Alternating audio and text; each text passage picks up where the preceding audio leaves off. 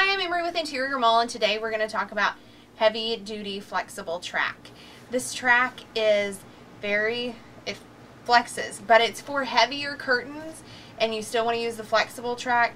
This is good for those heavier, you've got like velvet drapes, but it still bends and it still gives you that different shape. And it's like medium duty, it has a metal that runs all the way through it to help it maintain the shape that you bend it in.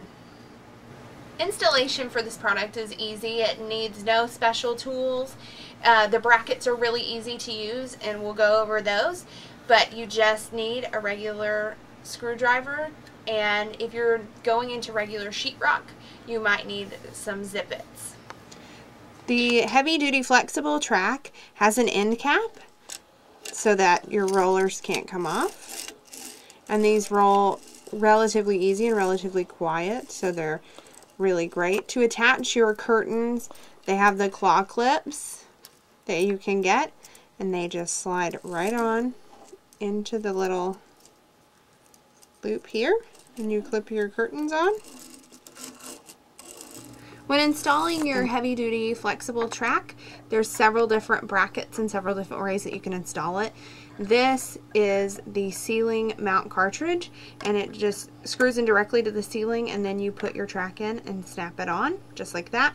This is a wall cartridge and there's a screw hole in the back so you actually use this and you screw that to the wall and then once it's screwed in you hook your heavy duty track right into that bracket.